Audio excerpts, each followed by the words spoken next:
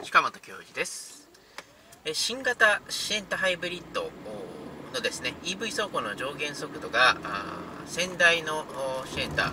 から変わらずですね75キロから80キロぐらいだったということについてですね、まあ、その EV 走行が高速域で、えー、じゃあできると何がいいかっていう話ですけれども下り坂を高速走行するっていう場合ですと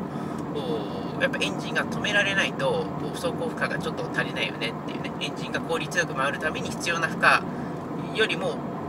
小さくなってきちゃう負荷が小さくなってきちゃうとさすがにまあただエンジンを無駄に回してるだけっていう風になっちゃうんでそういった場合は、えー、やっぱ EV 走行ができた方がいいわけですね。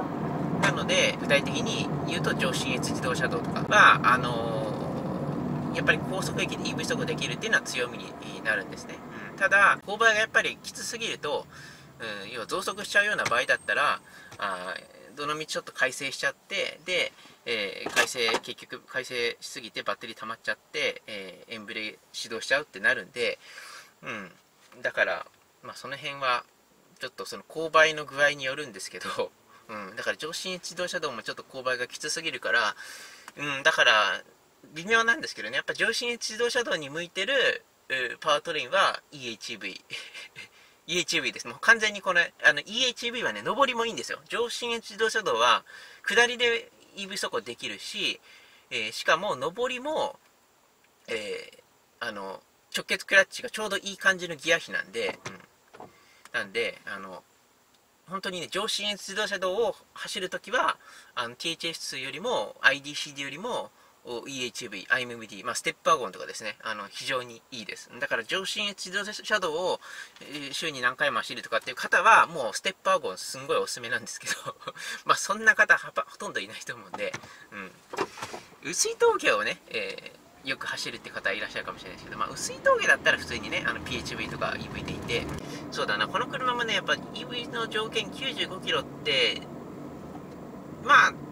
ちょっとね、やっぱり微妙なんですよね。高速走行するっていう場合においては、ちょっと微妙。そう。なんで、もう少しね、110キロとかまで EV 走行ができれば、あその速さすがに110キロとか出すと空気抵抗がかなり増えるんで、そうすると、あの、結構な下り坂じゃない限り増速することはないんで、なんで、えー、エンジンは止めて、えー、何もエネルギーを消費しないで加速するっていうのが、ちょうど、まあ、110キロぐらいまで EV 走行できればいいんですけど、まあ、やっぱちょっと95キロだとその辺は、うん、微妙なんだけど、まあ、でも95キロまで EV 走行できた方が70キロ、75キロ、80キロまでしかできないよりは全然、うん、いいよねっていう、まあ、多少はいいかなって感じ。全然でもないか。高速だったら多少はいいかなって感じなんですけど、あとはまあ、効率のことうんぬんだけじゃなくて、やっぱりね、EV 走行ができるっていうことがなんか楽しいですよね、うんやっぱり高速この速度域はエンジン走行になっちゃうっていうよりもその選択権 EV 走行もできます。エンジン走行もできます。それは運転者次第ですっていう方がやっぱアナログ的な要素があって運転楽しいしやっぱり、うん、機械を操る楽しみっていうのはこのフリードハイブリッドの方が新型シエンタよりも絶対的にあるな。とまあ、その機械を操る楽しみっていうか、もう機械を操らなきゃいけない煩わしさみたいなところに市街地走行だとなってくるんで、市街地走行はちょっとこの車合わないんだけど、でも、う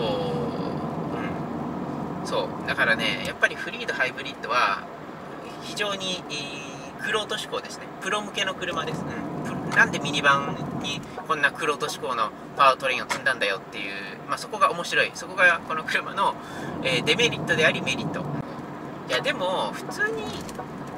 そうだな、音の魅力とかっていうのは、まだまだ、そのね、えー、エンジン音がいいとかっていうのは、うん、あれですよね。まあ、あの、そんなにマニアックな話でもないと思うんでえ、まあなんか総合的にやっぱフリードって全然支援隊に劣ってない新型支援隊にも全然劣ってないなっていうふうにねあの思います。はいということで、まあ、新型支援隊がね登場して、えー、このフリーのハイブリッドはさすがにもうね効率面で、えー、はあの支援隊にはちょっと勝てないな勝てないだろうなっていうふうに思ってたんですけどまあ確かに勝てないかもしれないけど、でも、郊外走行とかに関してでは、あまあ、互角かなっていうところですよね。うん、まあでも勝てるかもしれないですよね。そのだからさっき言ったように、上信越自動車道とかの長い下り坂とかだったら勝てると思うんで、確実に。うん、で、まあちょっとこれ今日はね、あのさっき渋滞ずっと走ってたんで、燃費悪いんですけど、うん、まあでも普通にいつも3リッター31ぐらいの数字で、えー、帰れるんで、まあちょっと今、外気温が今日はそんなに高くないんで、微妙ですけど。うんまあま、あのシエンタに関してね、郊外走行であれば、あ新型シェンタに関しても燃費この車勝てるんじゃないかなって気がね、えー、しますし何よりやっぱり運転の楽しさでいうともう、うん、まあそっちの方が燃費よりも全然大事だと思うんで、まあ、燃費でね勝てる勝てないとかって言ったってまあそんなに大きく変わんないですから、うん、なのでえっと、うん、まああのやっぱシェンターに対してのフリードの優位性っていうのははっきりねえー、特にパワートレでいうとまあ大きく違うんで、うん、ぜひこのフリードハイブリッドモデル末期のフリードハイブリッドの魅力っていうのはね多くの方にまだまだ伝えていきたいしできることならね、えー、まあ、これは多分ありえない話ですけど、もうホンダはそんな余裕がある会社じゃないんで無理ですけど、まあ、できることならね、やっぱトヨタみたいに、あの選択肢を持たせてほしいですよね。次のフリード、EHV、新型フリードも、IDCD って選択肢を残してくれたりしたら一番いいなっていうふうに思いますけど、まあ、それはトヨタがね、えー、やってることです最近最近いろいろ選択肢を増やすようにトヨタはなってる。まあ、例えば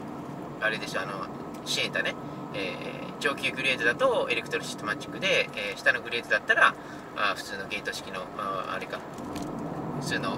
シフトゲート式のね、えー、シフトレバーになってたりとかね。メーターも上級グレードと下のグレードで分けてたりとか、まあ、あとはパワトレでいうと、まあ、シエンタはないですけど、まあ、プリウス。1.8リッターと2リッターあったりとか。ああれですよね。あのクラウンとかは、まあ、ワンモーターのハイブリッドと THS2 とかあったりとか。まあ、そういった選択肢をこう増やすっていうのはやっぱり余裕がある会社じゃないとできないんで、まあ、それはホンダにはホンダにはちょっと無理かなっていうのはあるんだけどうんでもねいや、シリーズハイブリッド EHEV になっちゃうと、郊外はやっぱ全然、それじゃ THS に負けるだろうからな。だからな。うん。はい、ということで今回は新型シエンタハイブリッドに乗って、えー、思った EV 走行の上限速度ですね、えー、の話をさせていただきました。ご視聴ありがとうございました。